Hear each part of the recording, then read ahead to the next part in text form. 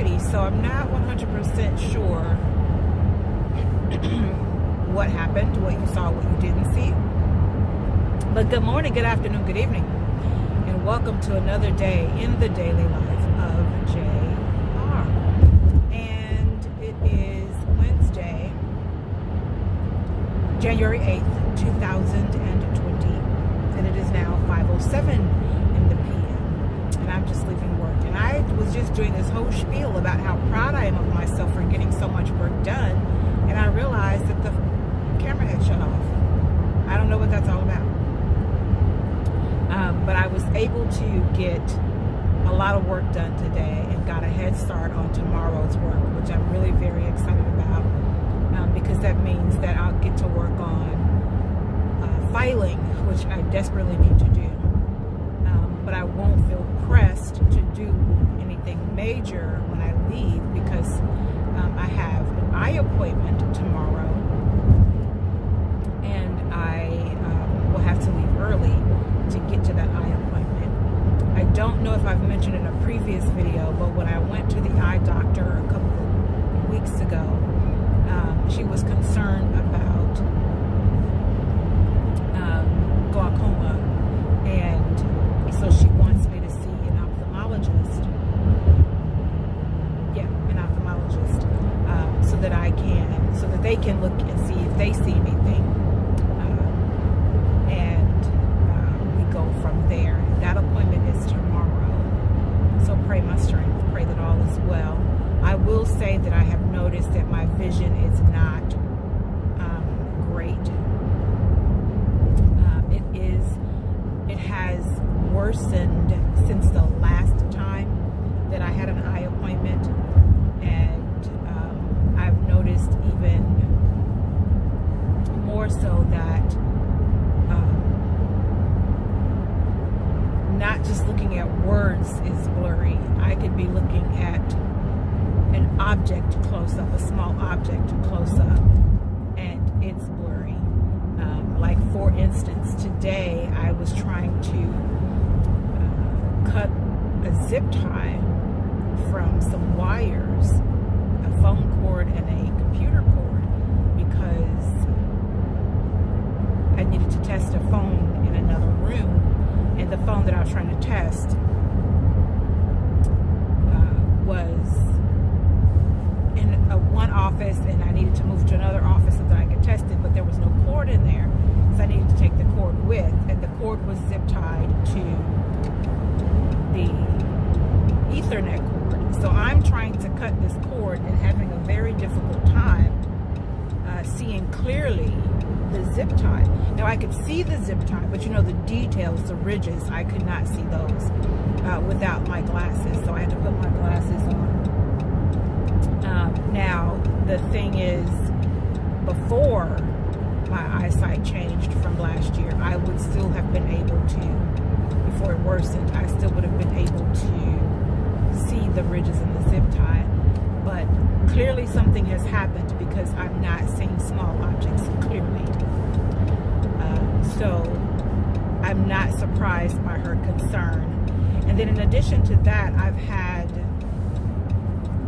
this left eye several times um, be red, especially in the corner, um, for I don't know what reason.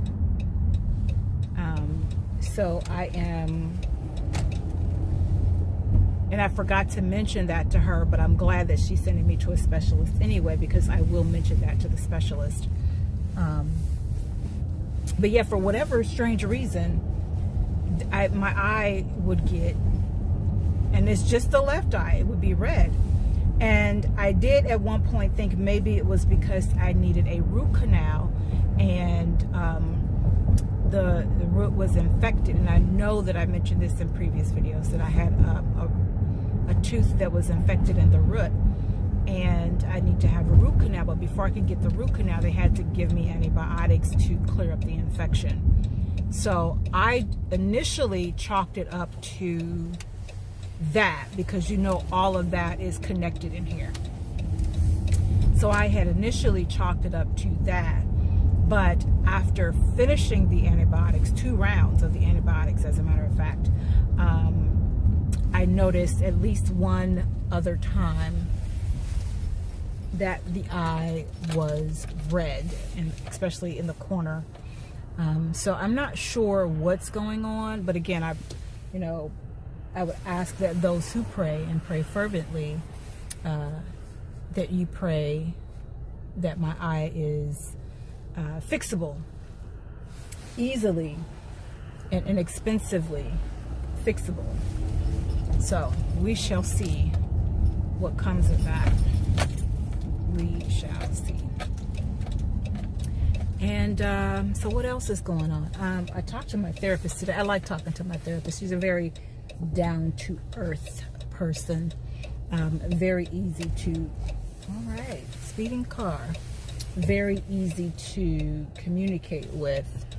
Um, so I had a therapy session. And for, look, I know being in the profession that I'm in outside of my regular job, um, you would expect for me to say get a coach or to get a therapist because it's what I do. But I wholeheartedly believe, even before I started doing this professionally, I wholeheartedly believe that everyone can benefit from a therapist, whether you believe you have something wrong with you or you believe that you need to talk with someone or not.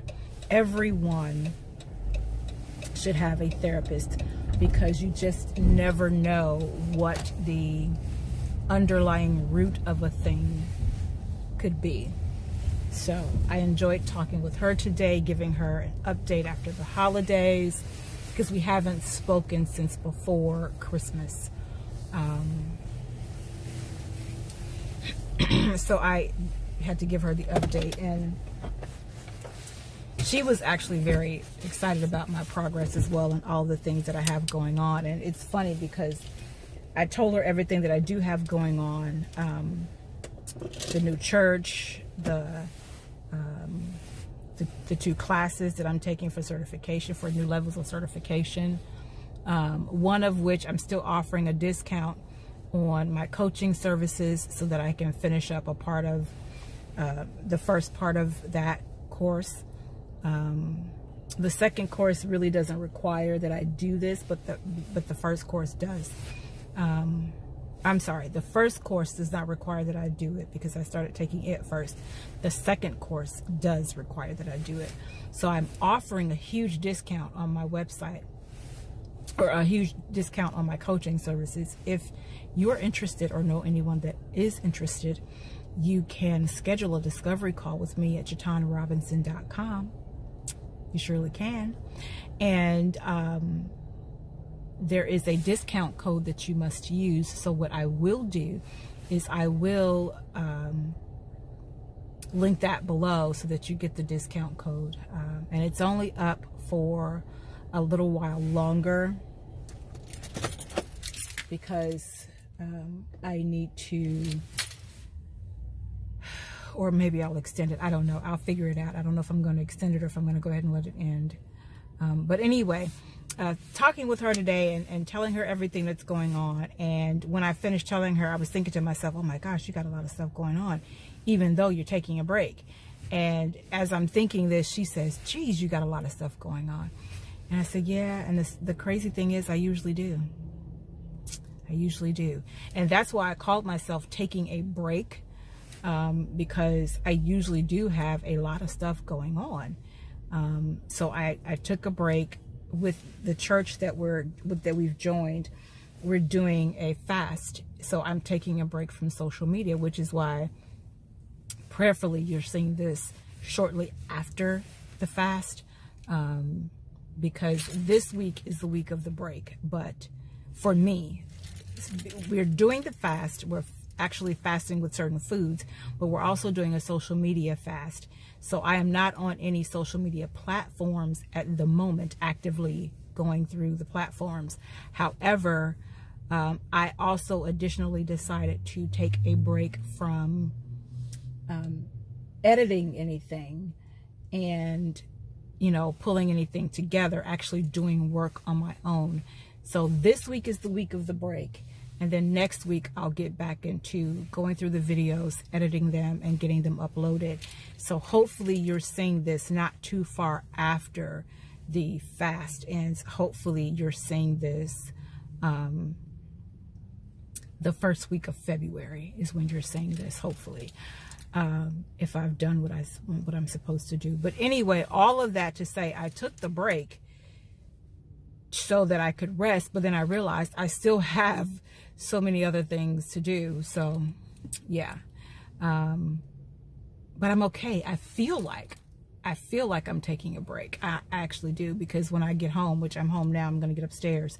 Um, I am not running to the computer to get on the computer after my 30 minute initial break. I'm not getting on the computer to do anything. I'm actually relaxing uh, and enjoying making these new meals that I'd never uh, had tried before with vegetarian foods.